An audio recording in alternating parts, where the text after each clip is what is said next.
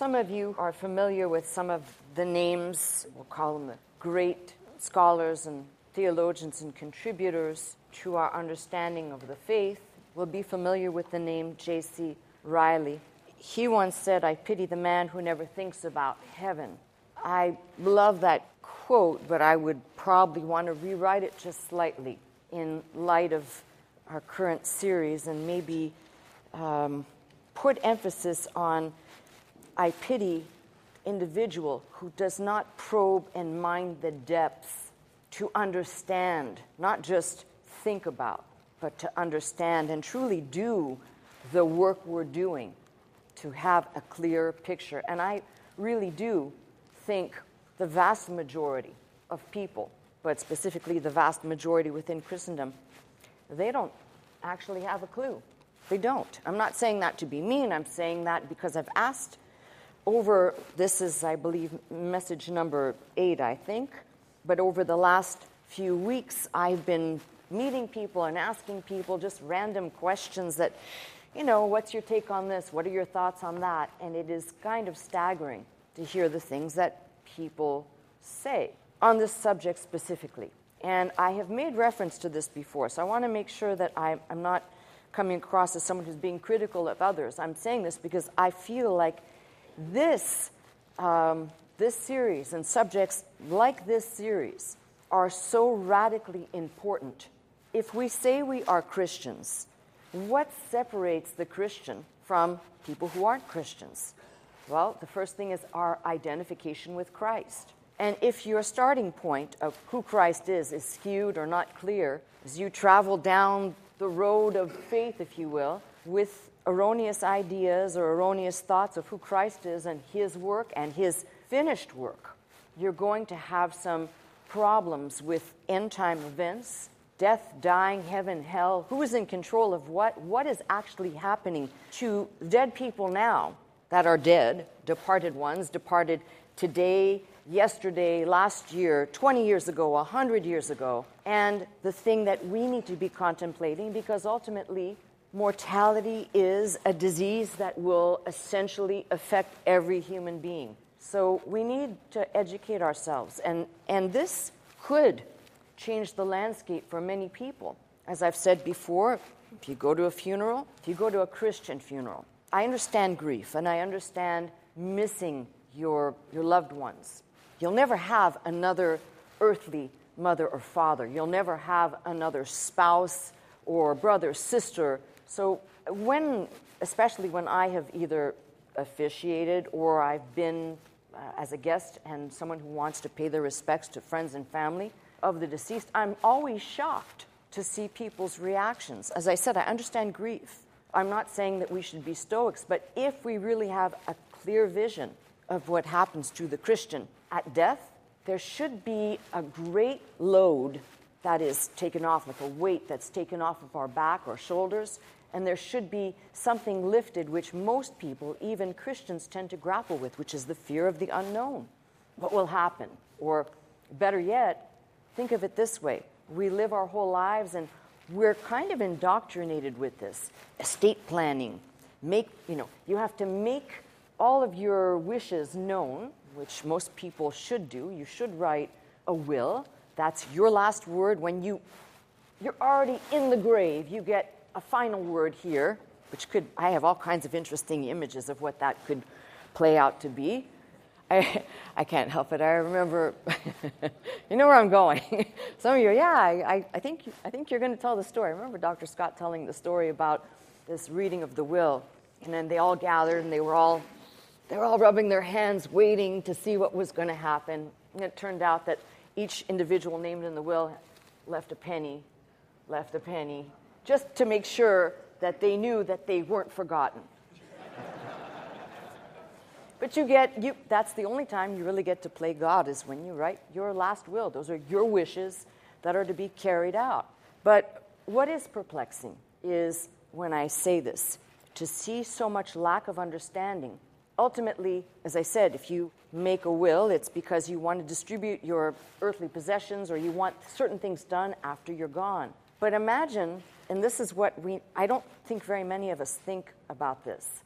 we spend a lifetime accumulating or trying to accumulate or just trying to exist and maybe maybe putting aside a little crumb. We plan to disperse whatever it is we have when we leave.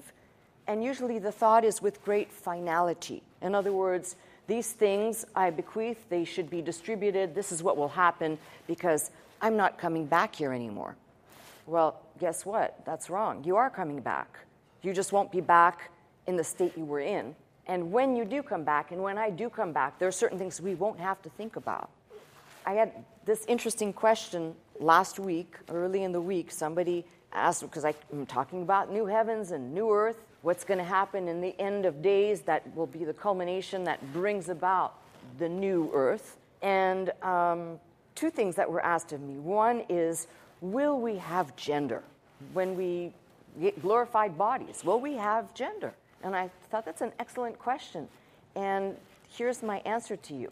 If you were a female in this lifetime and you walk the earth as a female, you will be a female in a new earth. And if you were born a male and you lived your life as a male, you will come back as a male. And this is very important for a current discussion on people who change their gender or decide to, to be other than what they were born.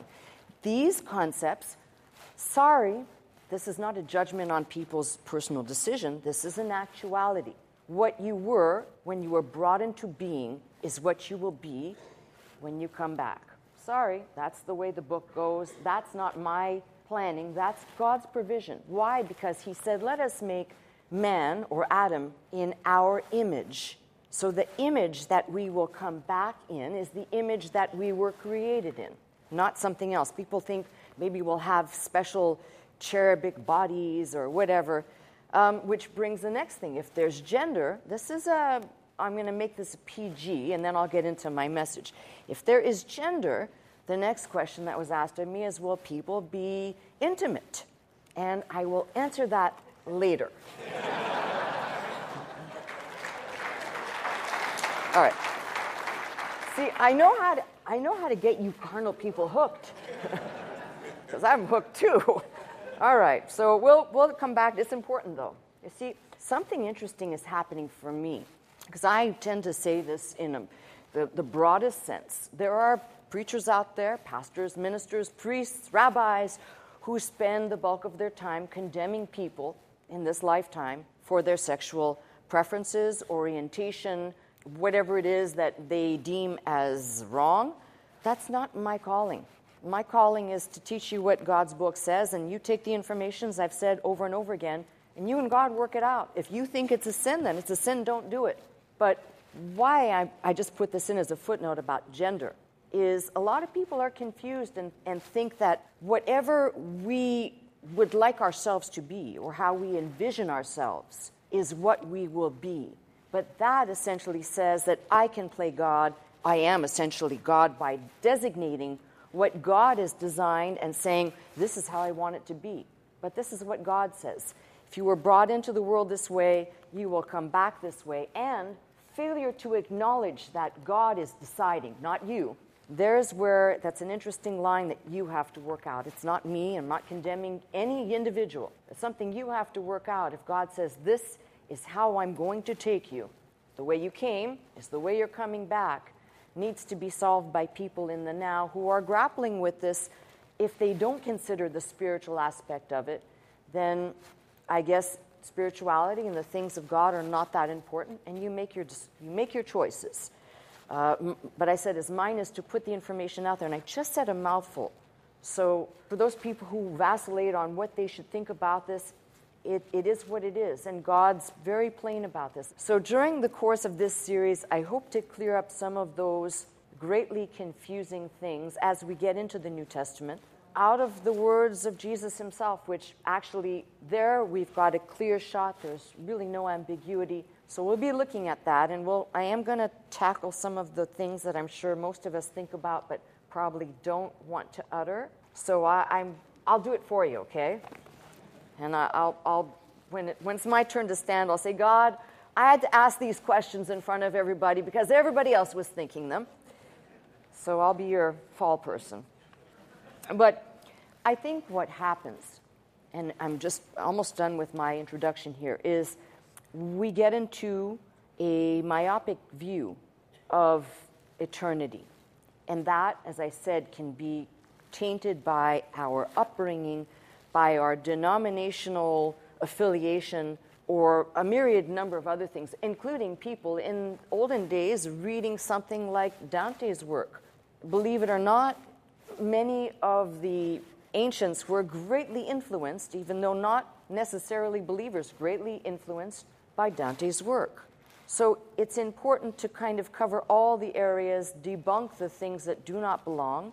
Last week's attempt at talking about purgatory was simply ideas put out. I don't think that you can cover that subject in an hour. You probably can't cover it in a lifetime if you were going to start debunking and putting scripture as the proof text, not one, but multiple scriptures that then become doctrine.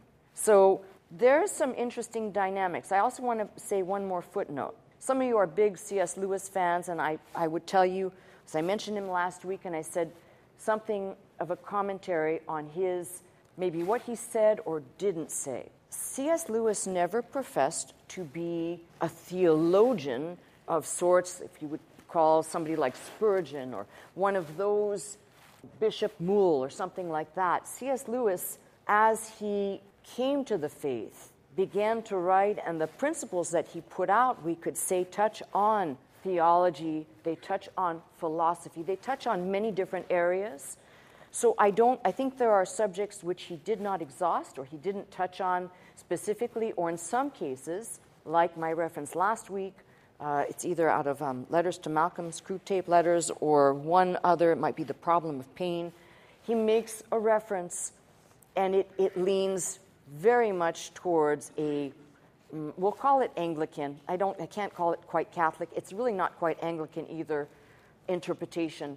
And unless you're familiar with and understanding where the dividing theological lines are between Anglican and Catholic, and as you go down the line, you can then see where his theology might fit in. Of course, I, I say Anglican absolute, but it may even be more like Anglican light with influences of some Catholicism in there. So don't use that as a template. It's there, his writings are brilliant. They are designed for the young reader as well as the older reader, but don't make that uh, theological treatise on any one subject. Spread the love around and investigate. Use your mind and use the tools that I've mentioned. Now, back to trying to lay the foundation to get into the message. Many times here we've studied in the book of Isaiah, looking at Satan's, we'll call it his fall. I like to sometimes call it eviction. And we see the attitude that is revealed within the Old Testament specifically, how Satan viewed after the fall a sense of detesting God or a sense of challenging God or a sense of desire to destroy. That's why one of his names, Apollyon, destroyer desire to destroy the things of God. But how, this is how I want to kind of plant the seed for this message. How do you think if he fell from heaven, or better yet, I like the word evicted. I just like that word for Satan. It just sounds so good. He is a liar from the beginning, accuser of the brethren, he's the father of lies. So, what would be better? to try and taint the minds of people who possibly could come to the faith if Satan is so bitter that he does not have the home he once had. Why should you have his home? In other words, you've got to look at this from not just a God perspective. God says, I'm preparing this place for you almost as a restoration of what was intended to be. Satan's mindset is, I will keep as many people from entering. Now, the cool thing is the Bible says Satan, being referred to as the God of this world, small g, the God of this world that has blinded the minds of people, specifically, if you talk to people who are simply not open to the faith, they're not open to Christ, they're not open to hearing about any of these things, we're not just talking about those people who may just be completely spiritually blind, but there are other people who their mind has been blinded to the subject, for example, um, when I talk about forgiveness. How many times have I heard people say, well, that's for somebody else, but it's not for me. I've been too bad. There's another blinding work of Satan. But there's the greatest work that I find as I'm investigating this subject, which is the less we know about where we're going, the happier Satan is. Because if we don't know what lies ahead, it, it, becomes a mystery. It's a field of unknownness that we cannot possibly fathom. We don't even press the subject. So, happy. Happy are the invisible forces around us. And for some people who don't believe in the devil, you might think I'm a complete nut talking about this. But happy is the one who is desiring to keep as many away from God, coming to Him, but more than that, to keep those who would want to know, or at least have a curiosity to know, in the state of cartoon or caricature versus reality. And in asking the questions, as I said um, in the last couple of weeks, what shall we do in heaven? What will heaven be like? Who will be in heaven? if there's no time, for example, and you read in Revelation where it says the elders are going around the throne singing, or those creatures that are going around the, where the 24 elders are sitting on thrones singing, Holy, Holy, Holy, that must be an unending song. I mean, if you think about it, now bear with me as I have to do a little caricature myself. It just seems appropriate that if you've ever been put on hold for an indefinite period of time, and you get the Muzak version of Girl from Ipanema, and you just don't want to hear it anymore, and it's like, oh my, right? You can't, just like you're about to explode, you won't have that reaction to holy, holy, holy. Why? Because in, the, in his presence, it will be unending joy. It's not like, when is this over? There's no time. You're not thinking about how to rush through this thing. It's pure worship, which, by the way, we never experience down here. Never we, we may come close to it, but we never experience that which those individuals being referenced in the book of Revelation experience. So there are all these things that I will address, but as I said, it, it's important to kind of put these things in proper perspective. So, in our search for understanding, in our search to circumvent the wiles of the devil and those who have um, maybe taken on erroneous ideologies, we're going to go back to the book and we're once again going to look at sections of the Bible in the Old Testament that might help us a little bit with a few keywords and concepts. So I take you today to the book of Daniel, and if you are turning to the book of Daniel in the second chapter, and kind of I kind of have to backtrack a little bit because people who are not familiar will say you just jumped in here and you're kind of leaving me in the middle of nowhere. I don't know where I am. Well, Daniel has already interpreted or will interpret King Nebuchadnezzar's dream, and he goes through the parts. He sees this statue with various metals throughout, and Daniel goes on to explain to King Nebuchadnezzar what these parts mean. And as he gets down, going through from head down to the toes, you have to read this and kind of be a little bit baffled. Because if Daniel's interpretation of the statue of the vision in Nebuchadnezzar's dream represent kingdoms, successive kingdoms, their rise and their fall, then going on to the next kingdom, and these are historical and traceable.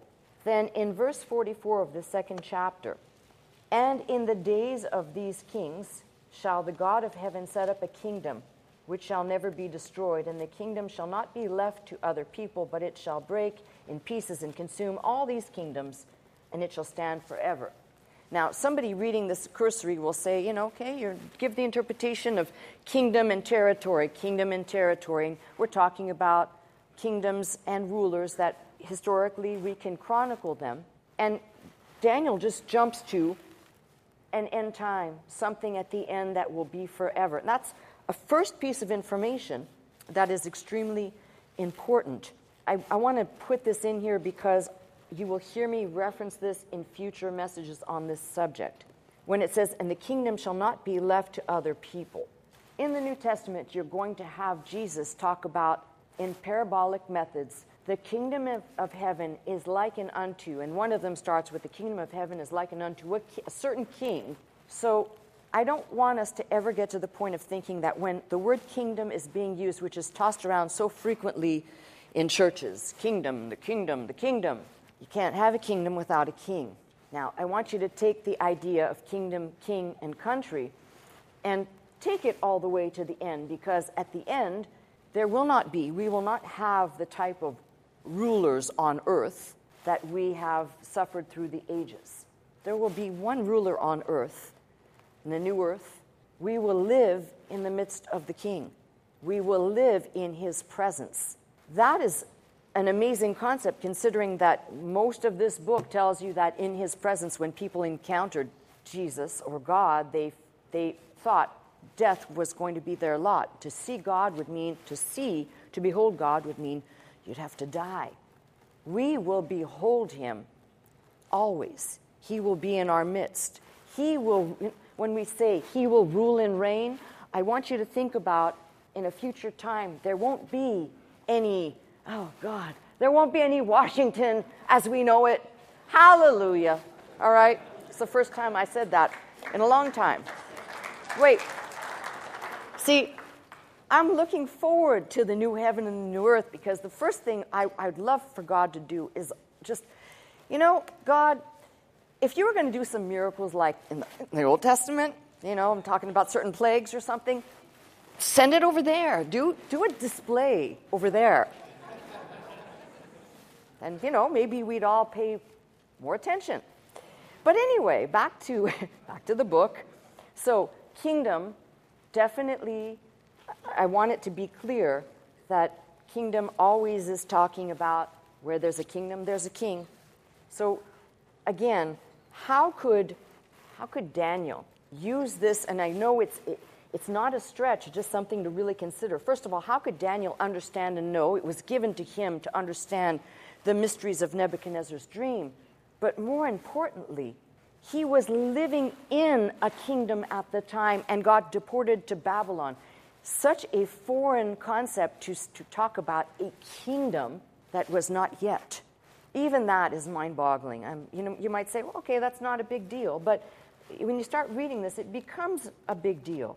Now, again, if you keep reading with me in Daniel's book here, I'm going to take us to the seventh chapter because that's really where I want to start because I just mentioned about kingdom. So remember, I said to you from chapter 7 through 12, we, we have more prophetic, and you've got to take the interpretations, which is not my message today. So if you're wondering, if you start reading Daniel and you're wondering, what do these things mean? What do these kingdoms and these beasts and all these animals mean? Please go to the network. We might have some posted as videos on demand. If not, there are titles all over the place that explain all of this. I don't want to get into it today because it's that's its own subject, and it's important to understand that, but that's not my motive today, so try and stay with me as, as to where I'm going. But from the seventh chapter forward, we've got the mentioning of the four beasts, and then what we pick up, if you read with me in verse 9, so seventh chapter, verse 9, I, I beheld till the thrones were cast down, and the Ancient of Days did sit, whose garment was white as snow, and the hair of his head was head like pure wool his throne was like the fiery flame, and his wheels a burning fire. And a fiery stream issued and came forth from before him. Thousand thousands ministered unto him. Ten thousand times ten thousand stood before him. The judgment was set.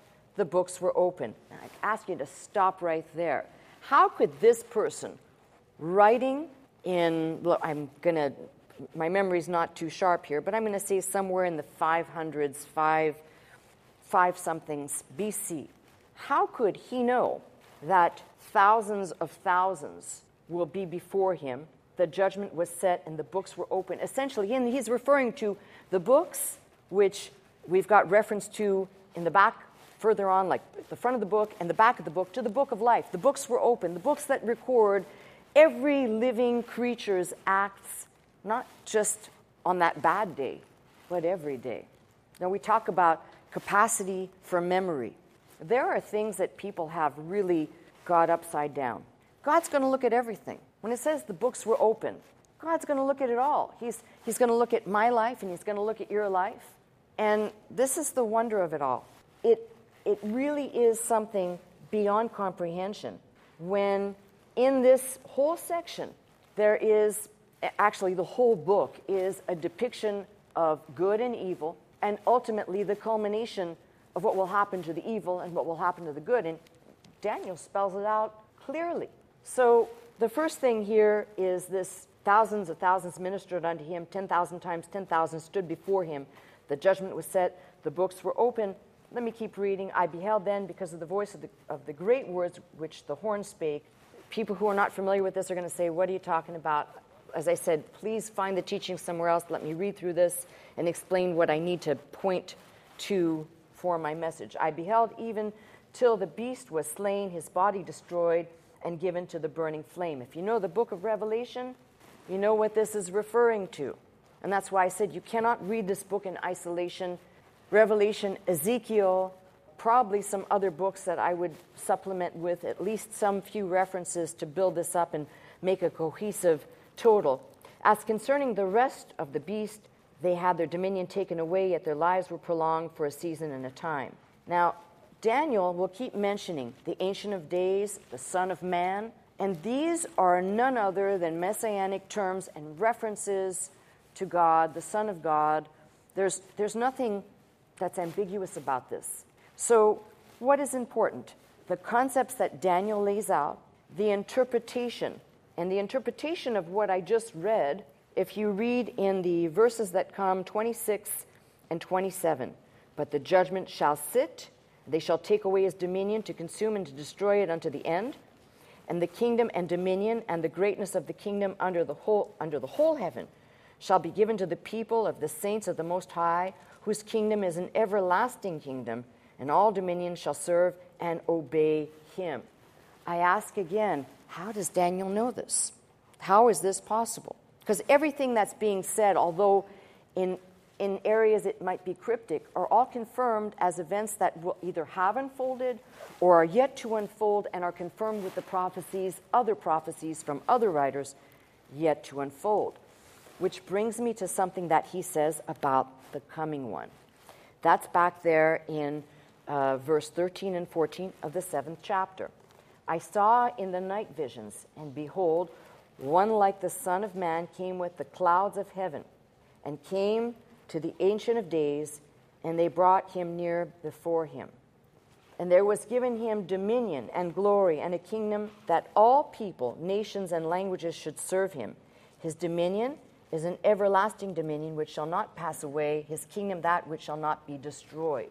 Now, I want you to take everything that I've said over the last seven weeks and start building a picture. If Daniel was given some dimensions of these, we're, going to call them pictures of a future time. They're not just vignettes, they're actual pictures with understanding.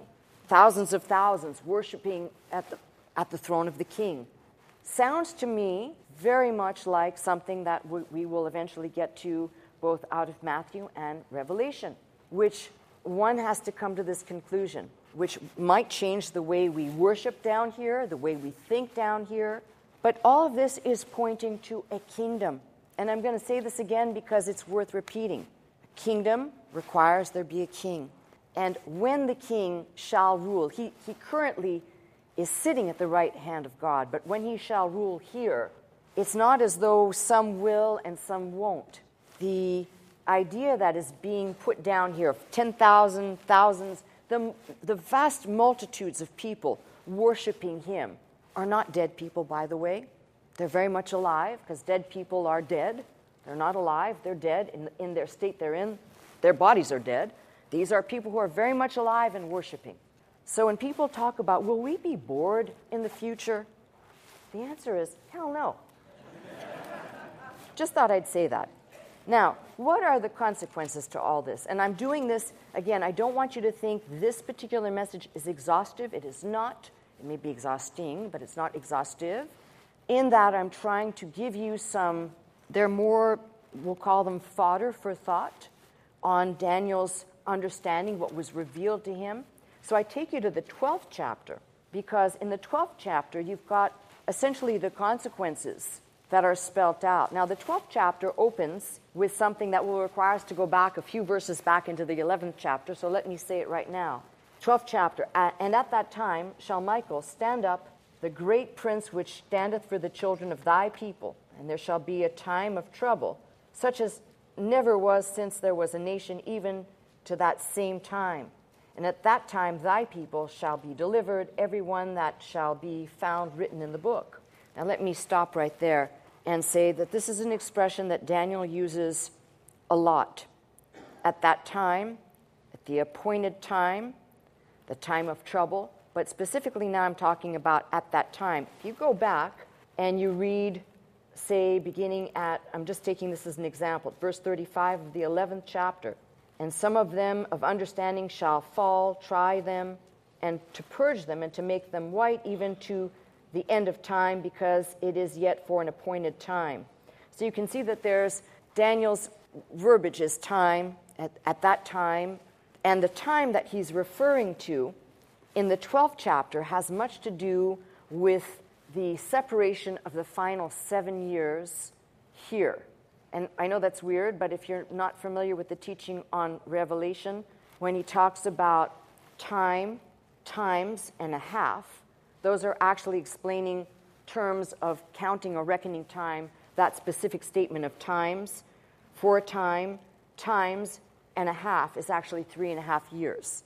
If you're not familiar with that, we'll talk about that in another time. But what I'm trying to say is that Daniel is in the 12th chapter, he's talking about something at that time shall Michael stand up that is future time. And we know that Michael appears many times, specifically the mention of Michael in Jude 9 and the mention of Michael in, I think, two other uh, scriptural references that make it abundantly clear that this particular thing that is being spoken of, future time, not something where people will be delivered in Daniel's time, future time, and there's something that's said here. Again, it's mind boggling. If you, if you read the Old and New Testament, what I'm going to read, I think, is mind boggling. Verse 2 And many of them that sleep in the dust of the earth shall awake. Hello. What do you think that means? Many that sleep in the dust of the earth shall awake, some to everlasting life, and some to shame and everlasting contempt. So it tells you with absolute certainty. Now, we've seen this multiple times already. Uh, if, if I would have taught the lesson I intended to teach out of Job, Job talks about how his flesh may decay, but he knows he will stand and he will see the Redeemer. And he says, I know my Redeemer lives at the end of days. I know I shall stand and I shall behold him. So when you read, and we're talking about different writers, now somebody out there who really doesn't have a gestalt of the Bible will say, oh, come on, you know, just a bunch of made up stuff. It's stuff that people wrote, and it's so long ago. And I, I'm thinking to myself, if you want to believe that, knock yourself out. But I'm going to take every piece of information in here and take it as if it is absolutely unequivocally true. See, when you study this book without asking for a sign, and you come to the faith without asking for anything else except what's in here, and years later, and this is my case, years later, I'm huge into biblical archaeology. So every month I get reviews and I get papers from the latest digs that are only confirming now, not 10 years ago, not 20 years ago, but now, like in the last year or two, places in the Bible that we thought, and many scholars for sure thought, never existed. It's a made up name, it's not a place. Well, we're now finding out that certain geographical places that are in this book that people said doesn't exist actually existed from these digs that either by way of uncovering signets or whatever information is being gleaned out of the ground but that's not my faith is not hinged on that my faith is hinged on what's in this book but when things are coming out much later confirming what we've already read Somebody might say, well, you believe this? Well, when you have the merging of multiple pieces of information and multiple writers writing hundreds of years apart, confirming each other, I think I'm standing on pretty solid ground here. So, with that being said, I want to talk about something interesting. This is what blows my mind. When, when Daniel uses the term, and many of them that sleep in the dust, if you read your Bible, you're going to read many times, both old and new, and they slept referring to those that died. Are you familiar with what I'm saying? The verses that sleep in the Bible. Don't you think it's, it's mind boggling to me? Now, in the backdrop of what we're looking at, sleep is temporary. Sleep is, you don't sleep indefinitely. You know, you go to bed, right? And you wake up. That's sleep. It's, it's, it's, it's a break from wake, right? But it's temporary. Don't you think it's crazy that through and through this book, the concept of sleep and rest, sleeping, sleeping, sleeping, referring to the dead, has been telling us all along that sleeping is temporary. We get the idea when we say rest in peace, that person is now resting forever. Sleep is temporary. This is what I've been trying to tell you, even when I, sorry, I get a little animated because it's mind boggling to me that Daniel would write, Daniel would write and many of them that sleep in the dust of the earth shall awake. And goes immediately into some to everlasting life, and some to shame and everlasting contempt or punishment. Don't you think?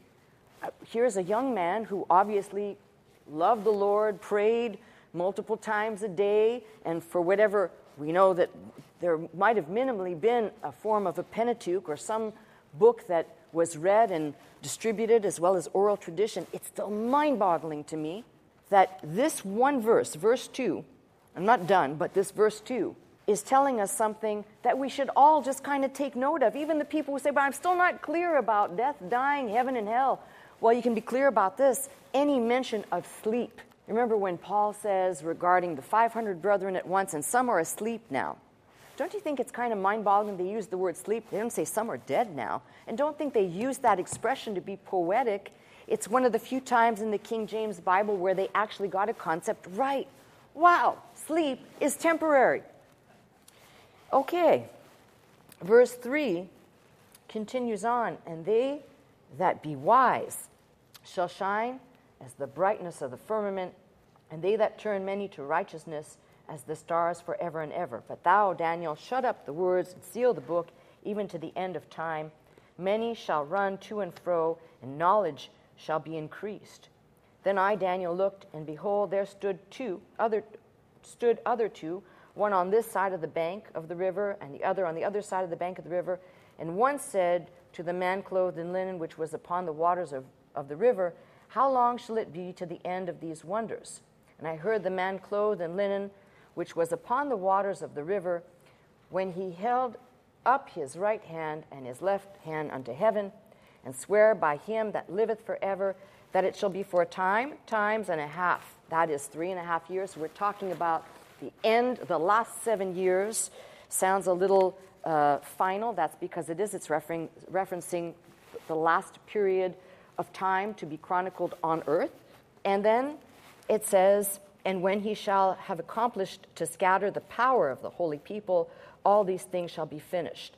And I heard, but I understood not. Then I said, O my Lord, what shall be the end of these things? And he said, Go thy way, Daniel, for the words are closed up and sealed till the end of time.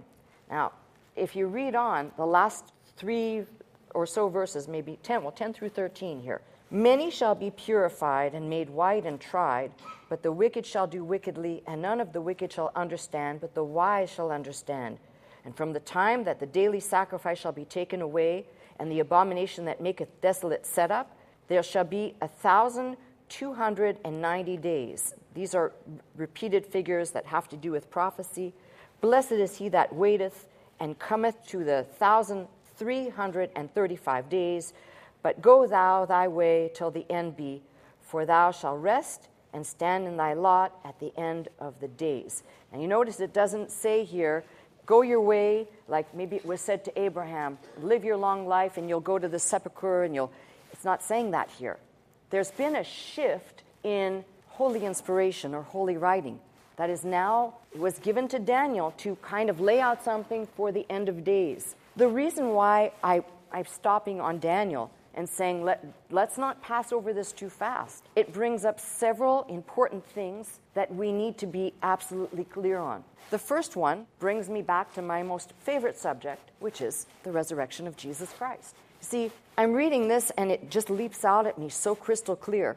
Many of them that sleep in the dust of the earth shall awake, some to everlasting life, some to shame and everlasting contempt. This concept that is not just here in Daniel, as I mentioned Job, as I mentioned Psalm 16 and Psalm 17, there is references out of Psalm 76 and possibly I think 77 is the one I'm thinking of, but at least many times over in the Old Testament where we're reading these concepts, now we begin to form doctrine. So sleep in the Bible must be understood. It may at times refer to someone who has died, But remember, even in the New Testament, when it says the girl is, I think they say it, King James says, the maiden is asleep, referencing she's, they meant it she's dead. No, she's not. And then, of course, she's raised up. So it's important for us to grab hold of some of these words and recognize that even in a writing that is, say, some 500 years before Christ, it's revealing a promise of resurrection. It is revealing a promise of a risen Savior in front of whom thousands of thousands of thousands will worship. It is revealing something to us about the fact that when we die, that state that we reside in here is temporary. Now, I don't want to get into the details like somebody was talking about. I can't remember who it was telling the story of, oh, I now remember. It was somebody telling the story of their pet. Wow, this is a good one, and it's kind of weird. Uh, their, their beloved little chihuahua died many years ago, and they didn't want to part with the chihuahua, so they put it in a box and I guess they wrapped it up in tape and they put it on their on top of their fireplace. And many years later, they had another small dog and it died too, and they wanted to put that dog in the box with the other dog. Yeah, thank you. So I, when I heard this story, I just felt exactly like that. And I was thinking, Lord, when you resurrect these small little precious things, maybe you can give them giant teeth to go and attack that guy. But um, he said he opened the box, and the first chihuahua wasn't there, it was gone. And that is the principle of what happens when things decay over time.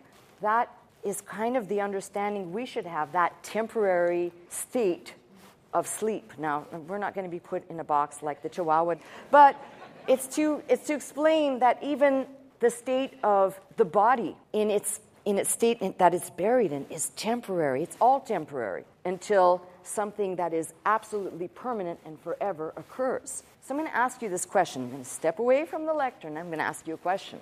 If what I've been laying out for the last several weeks is true, which I believe the Bible is true, then it tells me something. All of the time that I have here, and I've referenced this before, but I'm going to say it again all the time we have here is preparation for eternity. All of it. You get up until the point where something in your mind clicks and you go, oh, that's what I'm supposed to be doing down here. And all the time that I wasted and all the stupid stuff and all the idiocies that I did, a light goes on. Okay, I've got so many years ahead of me, and I guess this is, this is what God intends for the time that's left now that my eyes are open, my understanding's a little bit clearer, because everything that I'm learning here will not just be, I learned it here and I take it to the grave with me and it's end of story, but rather everything that I'm learning here, specifically about the most important thing that you could ever learn about, the one you're going to spend eternity with. That information does not stay in the grave. That body stays in the grave, but the information gleaned stays with the soul and is gone with the soul and the spirit to be in the presence of God. So when we talk about understanding, like almost digging into this, it says volumes that we should not when we think of death and dying, we think of our departed loved ones. Somebody said, You don't understand. My husband just died last month. So somebody just wrote me a letter and said, My husband died last month, and it's, it's just been terrible for me. I just can't sleep. I can't eat. And I'm reading the letter thinking, well, obviously, this person doesn't know that I went through that some 15 years ago. And I know what that's like. And I've had many people close to me. That starts the process of thinking the questions we should all be asking why am I here? What is this life about? Is there something that I'm missing in the big picture to understand what I have to do to be there with Him versus some other place? These are the purpose, this is driving force of reaching into this book and saying, if I can get it clear before I even hit the New Testament, because in the New Testament, there are less allegorical or metaphorical, there are less poetic prose of prophecy and more specific statements that will not just give clarity to the Old Testament, it will take what was a shadow, just a shadow, and bring it into the reality of what is, where we could only see in the Old Testament, and there's a pretty good outline right here in the 12th chapter, but it's still just a shadow. And when the real substance appears, which is Christ, and he reveals to us, to his disciples, and to us the reality, when he says, before Abraham was, I was. And he clearly says he saw Satan fall, the one who was from the beginning of time, which is why John opens his gospel with saying, In the beginning was the Word. He's referencing Christ, who's seen everything, knows the plan of the Father for humanity.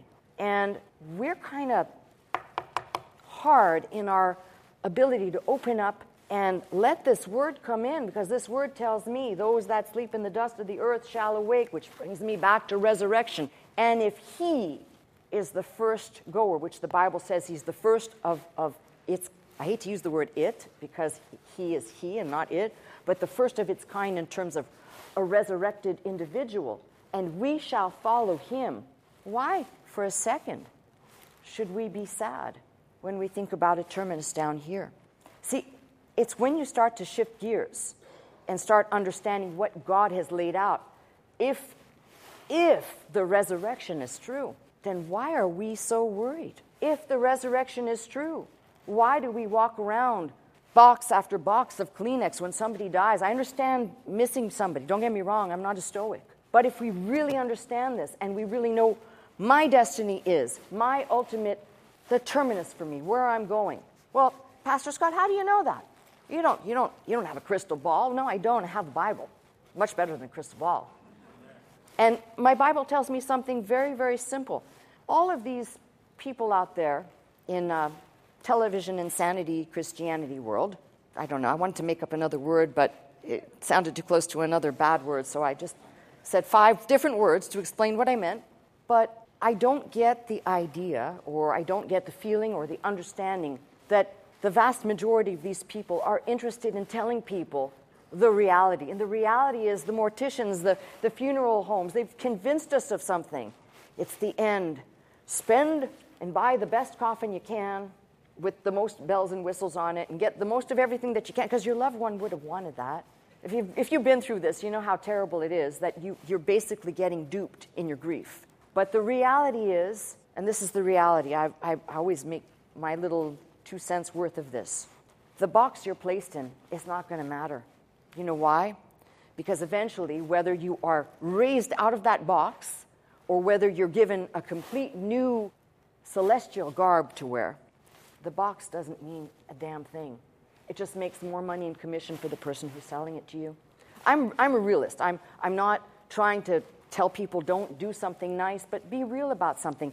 If you're coming back here and you know you're coming back here, and you're clear about coming back here, I'm not sure why you'd waste time on certain things that are for people who don't understand or who've not yet been enlightened about what this book says. Now, my last piece of information here is that probably next week we will reach into the New Testament with substantial um, teachings straight from Jesus' mouth to better kind of put flesh and blood on this. But what I want us to take away today. These writers, the psalmist that I referenced, which would, would have been David, but many of the contributors into the Old Testament, and I mentioned something out of Job, they all had insight or revelation into beyond the grave. This is why you're going to, if, you, if you're really looking, and if I'm really looking, we're going to find out that none of these had the outlook.